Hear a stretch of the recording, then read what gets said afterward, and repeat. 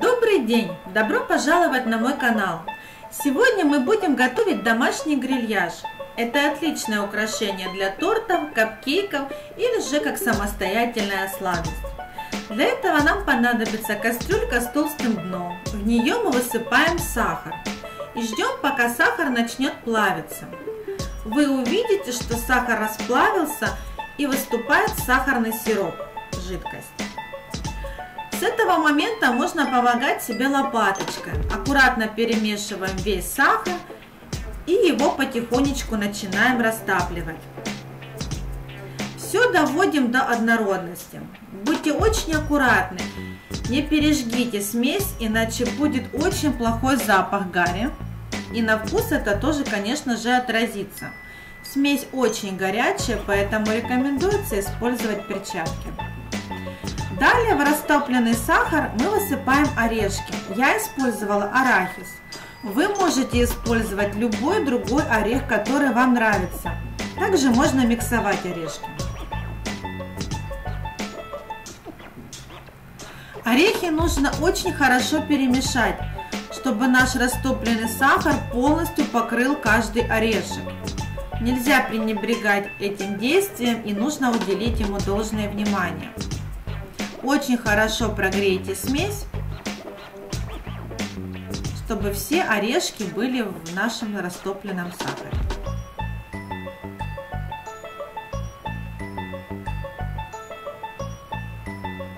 Орешки также можно подробить. Я использовала целые.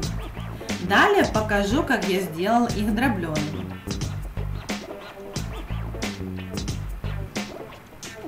Самое главное хорошо прогреть нашу смесь и наши орешки. Далее берем силиконовый коврик. Его ничем не нужно смазывать.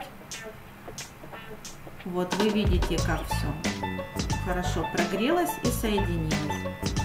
Высыпаем наши орешки на силиконовый коврик и равномерно распределяем своем случае я сверху вот этой смеси, которая уже на силиконовом коврике, я положила еще один силиконовый коврик и сверху прокатала хорошо скалкой. Орешки подробились и слой грильяжа стал тоньше. В принципе, то, что мне нужно было для украшения капкейков.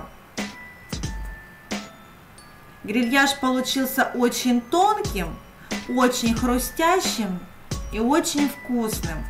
Как вы видите, орешки подробились за счет того, что я прокатала скалкой. И они очень хорошо склеились, но нет жесткости грильяжа. Это очень хороший способ, как я считаю. Рекомендую приготовить данный вид грильяжа. Он отлично получился у меня, и я уверена, что получится у вас.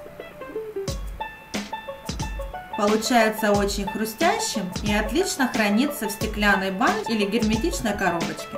Баночку тоже можно герметично закрыть. Буду рада за подписку на мой канал и пальчики вверх.